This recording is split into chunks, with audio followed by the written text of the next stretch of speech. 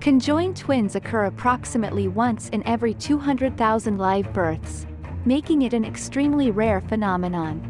The exact cause of conjoined twins is still not fully understood, but it is believed to be a result of incomplete division of the fertilized egg during early embryonic development.